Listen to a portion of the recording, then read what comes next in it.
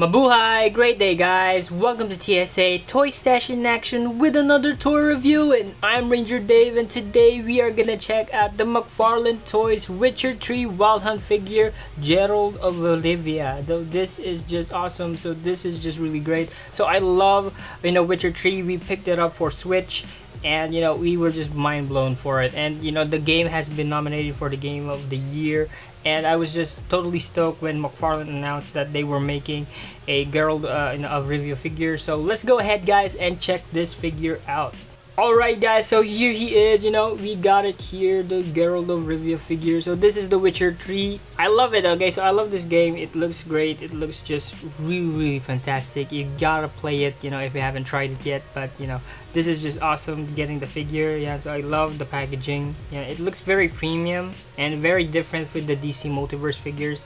Yeah, and if you actually look at it right there, and going here at the back you got an awesome artwork right here this is actually like a product shot so that is just an awesome product shot and yeah enough about the box let's go ahead and open him up Okay guys, so here he is outside the packaging, Geralt of Rivia. It looks great, alright? I have to say guys, this looks like a statue aesthetically, uh, but you know, you you got all of the articulations. So I'm really amazed right now when I pulled it out of the box. So it's just really phenomenal. Okay, so here's a closer look guys so you can actually see. It looks awesome, right? I love the paint job right here for the head, alright? The head sculpt is just amazing.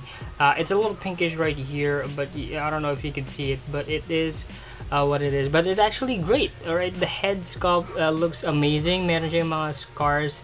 And if you actually look uh, closer, uh, right there. You can actually see that medyo bloody yung uh, paint job. So that is great. Uh, his eyes is actually uh, you know the one that has the muted uh, uh, mutated eyes that he has. Yung yellow eyes. So that is great. And going here for the armor itself guys you got the metal mesh right here. And the armor it's just great. You know this is sculpted. Everything is sculpted very nicely. Even here at the back you know to the last point where everything that you look at it it's all sculpted it's all painted very nicely. It is a great great figure. Even here guys i mean look at that. That belt is just really really good. You actually feel the texture out of it so that is awesome. Uh, now the issue is right here guys this is sculpted yeah so this is the one that he makes him hold uh, the prize uh, or anything that he comes with the bounty with so that's you know supposedly it but you know it's it's just stuck right there sculpted. It's even on a flimsy thing. So uh, a little bit bummed by that. But other than that guys i mean going here uh, for the boots uh, the legs the entire thing is amazing. I mean even here for the necklace it is sculpted and it's painted beautifully. So i have really no complaints overall for this figure. Alright guys so going for the accessory we got here the steel sword. The steel sword looks great alright so it is sculpted beautifully. Now uh, it is a little plain uh, because yan na talaga siya. That's the entire paint job that uh, you're gonna get. Uh, but it does have scuff marks. Now I don't know if you can see it right here. Uh, but it does have scuff marks all over the blade Yan, so I think ang kailangan mo lang gawin dito is just uh, repainted if you like, you know, if you're into customizing or not even just customizing, just get one of those Sharpie uh, silver paint uh, painted uh, Sharpies and then just, you know, put all the sides right there. Uh, it would look beautiful.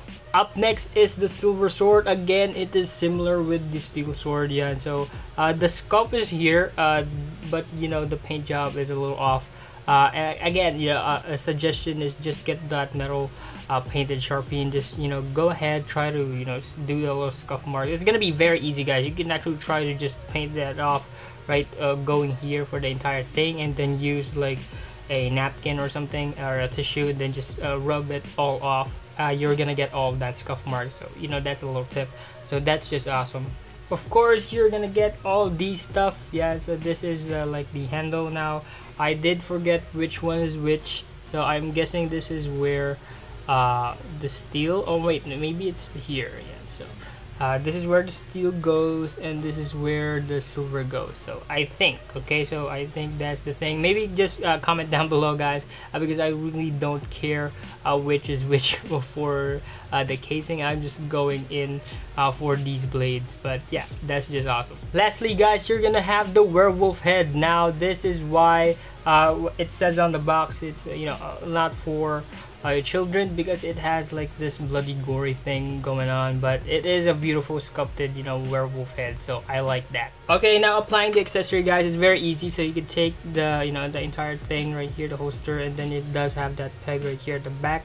So you can just peg it in and there you go. So you know it's beautiful. And then you can take one of those swords and take the silver sword right here and make him hold uh, the blade uh, either of the hands. All right? So you could do it for both hands if you like. Yeah, oops there you go. Uh, yeah. and uh, there. So it does uh, you know pretty much hold them uh, both. It looks great. And so you know at least you can actually do that for both hands. And then of course you can make him hold uh, the werewolf head right here. Yeah so it looks great. It looks awesome. Really nothing special. I wish it could just be uh, on here. You could just yeah, put it here but it is on a flimsy thing. But you can do so. Yeah pero medyo mahulog siya. Alright but you know it's better if he holds it because this is supposed to be like an extra accessory. I don't know why they chose it to stay there. But at least guys you got you know an awesome figure. For the articulation guys for the Geralt figure so for the head you got a bow joint so you can move it side to side up about this much and down. Now uh, the issue is right here because of the long hair that he's gonna have uh, it's a very limited uh, you know possibility for the articulation on the head. But uh, going here for the arms you can raise it up about this far and then back about this much. Now it's beautiful because this is like a soft pliable plastic and so it moves and it doesn't uh, you know hinder any of the articulation. You can raise it up about this much. You still have that butterfly joint right there so it's a little tight right here because this is a little tight uh, data for uh, the suit uh, that's a little rubber but you know it's really cool. Then you got a bicep swivel right here very nicely double jointed uh, you know um, elbows right there and of course you got a bow hinge uh, wrist yan. So medyo malaki yung bow hinge na dito but you know it's not that bothersome. Now going here for the torso guys. So for the upper torso it does crunch yan. So there you go. Para siyang similar din sa Robin figure uh, na we get for the Dark Nights Metal yan. So ganyan siya and then you can raise it up about this much as well. Meron talaga siya articulation guys. And then going here for the waist. Yeah, so you can swivel at the waist. It does crunch. You know, so it's very nice. You can make him do the splits about this far. So there you go. It's very cool. Now take it uh, you know easy kasi ito yung medyo may problema yung iba. Alright, but other than that guys, it can move forward. It can go back. You know, it's a very good range. And then you got a double jointed knees. Yeah, so it's all tight. There you go. And so magandang articulation na dun. And then going right here, you got a bow hinge ankles. And so it can ankle pivot, so that is great. And then you got a small boot cut right here. Alright guys, so just for fun, we have here our Geralt of Rivia figure next to our ZD Toys Iron Man and of course a McFarlane uh, Injustice 2 Flash. Uh, I have to say guys, he is tall and he fits perfectly with all of your 7 inch figures. Now, uh, this is just great to see how he scales up and he is one of the best looking figures all right so I, I did put it up right here uh, that these two are just great one of my favorites. But yeah uh, the figure itself just completely stands out for me so that is just awesome. All right guys so that's my take for the McFarlane Toys Witcher Wild Hunt figure uh, you know the Geralt of Rivia uh, this is just awesome. I love the sculpt the paint job and of course the overall like this of it from the game. I actually feel that you know it actually transcends uh, to the game itself. Yung, yung itsura niya if I every time that I look at the face uh, it looks like an animated uh, thing. For me I don't know. It's just a feeling. It's just really great to have this figure. And yes I am giving this figure a 5 out of 5 rating. And I hope you guys like this video. And if you are new to the channel please do hit that subscribe button and hit that notification bell to be on every new video we have here. That wraps it up guys. Remember, life is one big collection. Peace out. God bless.